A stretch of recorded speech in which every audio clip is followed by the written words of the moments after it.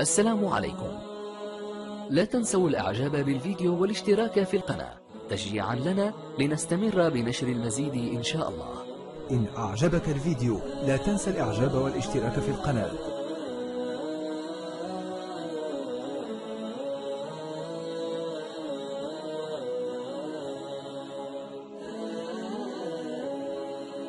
السلام عليكم. لا تنسوا الإعجاب بالفيديو والاشتراك في القناة. تشجيعا لنا لنستمر بنشر المزيد إن شاء الله. من الأمور أيضا أيها الأحباب الكرام التي نذكر بها أحبابنا في صيام رمضان ولا أطيل عليكم وهذه نقطتين أساسيتين وهو أننا نحرص على تعجيل الفطر. فإذا تحققنا من غروب الشمس هذا من المستحبات. نسمعوا تحقق الشمس لابد أن نعجل الفطر. كاين بعض الناس يسمع المدن والدن وباقي هو كيتسارى وباقي في التلفزيون وباقي في الأشغال ديالو. أو بعض النساء مازال في الكوزينة عندها أشغال وكتوجد في الشهوات وراه ودان المغرب وكتبقى ربع ساعة نص ساعة تفطر هذا ليس من المستحب. فالمستحب أن الإنسان إذا تحقق غروب الشمس أن يعجل بالفطر. لقول النبي صلى الله عليه وسلم لا يزال الناس بخير ما عجلوا الفطر. لا يزال الناس بخير ما عجلوا الفطر. والفطور كيفاش كنفطروا؟ إما أننا كنصدقوا التمر هو الأول وإما كنصدقوا الماء. التمر والماء راه وصوا به الاطباء وخبراء التغذية الصحية لأن الجسم كيكون ناشف وخاصة السكر والتمر سكر طبيعي مع الماء بسرعة ينتشر في الشرايين. وسيدنا النبي صلى الله عليه وسلم كما قال أنس بن مالك كان يفطر على رطبات قبل أن يصلي فإن لم تكن رطبات فتمرات فإن لم تكن تمرات حسى حسوات من ماء. هذه السنة النبوية الشريفة. ملي كنسمعوا المؤذن كيقول الله أكبر. خصنا نتبعوا معاه. نقولوا الله أكبر. حي على الصلاة حي على الصلاة. أي كلمة قال المؤذن نتبعوا معاه باش ناخذوا الأجر ديال الأذان. ناخذوا الأجر والثواب ديال الأذان فانت غتبعت يوم يوم القيامة مؤذنا. أنت ربما طبيب أو مهندس أو أستاذ أو شيء غتبعث يوم القيامة مؤذن. غتقول لي أنا عمرني ما ودنت لا كتودن كل نهار. ملي كتسمع المؤذن وكتبع معاه تكتب عند الله يوم القيامة مؤذنا. وطبعا المؤذنين راه عندهم واحد المقام رفيع يوم القيامة. أطول الناس اعناقا. ماشي المقصود عنق طويل هذا غير مجاز. المقصود أن الله تعالى يعطيه يعطيه. غادي يكبر به مولانا. حتى هو كيكبر بالله. كيرفع اسم الله. وكيذكر الغافلين. الله أكبر. الله أكبر. من أعلى المآذن. أشهد أن لا إله إلا الله. أشهد أن محمد رسول الله. هذا معنى ذلك غادي يكونوا أكثر الناس أعناقا أطول. الناس أعناقا يوم القيامة. ما تخيلش بأن عنقه غيكون طويل. وإنما المقصود غادي يكون مقامه رفيع من الكبراء من الأسياد من الأخيار من المصطفين الأخيار. فعلينا أن لا نضيع الأجر ديال المؤذن فأنت في دارك وأنت سيدتي في دارك وكتبعي المؤذن عندك الأجر كامل يوم القيامة كأنك مؤذنة. وملي تلي الأذان كنقول الدعاء الماتور اللهم رب هذه الدعوة التامة والصلاة القائمة آت سيدنا محمد الوسيلة والفضيلة. وبعث اللهم المقام المحمود الذي وعدته إنك لا تخلف الميعاد. فالإنسان يحرص على أنه يقول هذا الذكر في أجر وثواب عظيم. وخصوصا قبل ما يأكل أو يفطر يزيد للسماء ويدعي الله. يدعي الله تعالى الدعاء مستجاب. هذا وقت الغفلة. حتى الأغلبية الناس غير كيسمعوا الله أكبر. كيبدا يأكل؟ كيبدا يشرب؟ أنت تسنى تسنى واحد اللقطات مهمة للغاية. تبع الصيغه ديال الأذان قول الدعاء ديال المقام المحمود لسيدنا النبي محمد صلى الله عليه وسلم ثم ارفع يدك للسماء وقول الدعاء.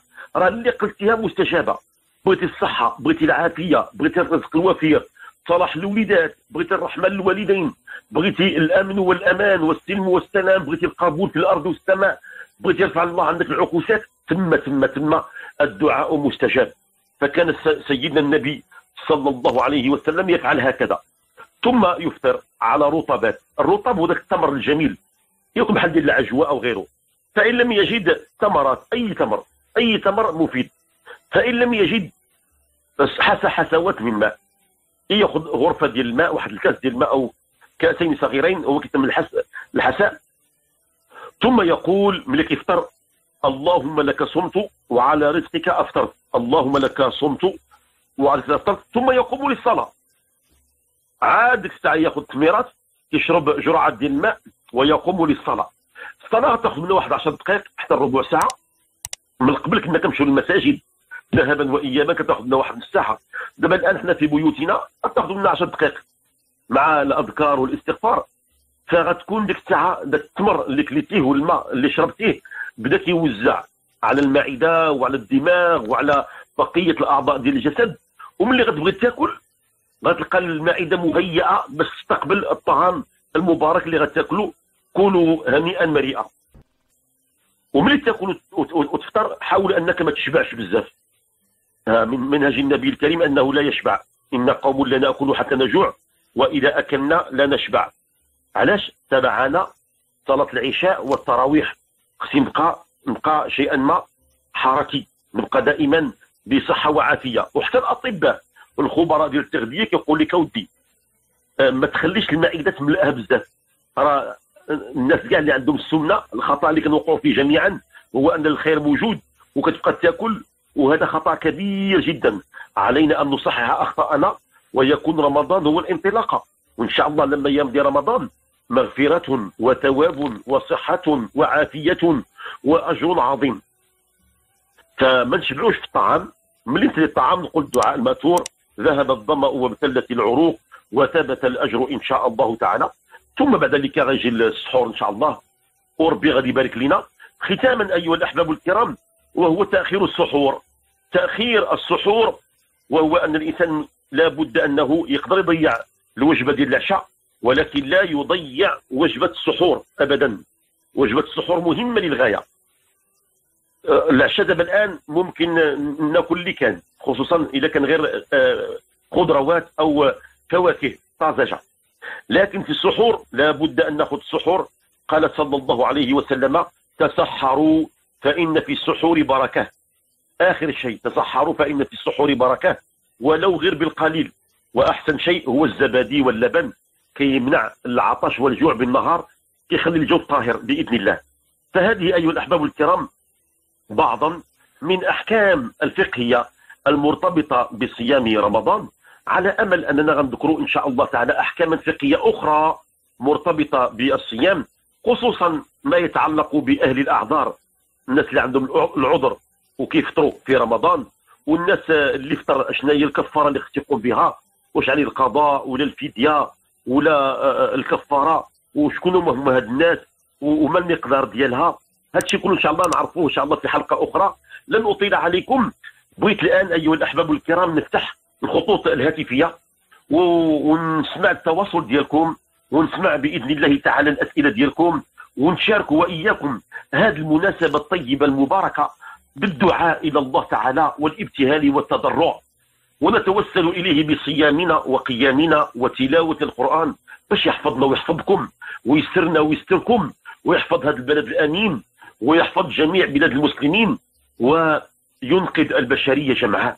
إحنا كنا إخوة من أب وأم أبونا آدم وأمنا حواء ونتألم لما نرى من معاناة لإخواننا حتى ولو كانوا مخالفين لنا في الدين وفي العقيدة وفي الوطنية حتى ولو كانوا معنا في حرب أو عندهم مواقف ضدنا. ومع كل هذا تسقط جميع الاعتبارات ولا تبقى إلا الأخوة في الله.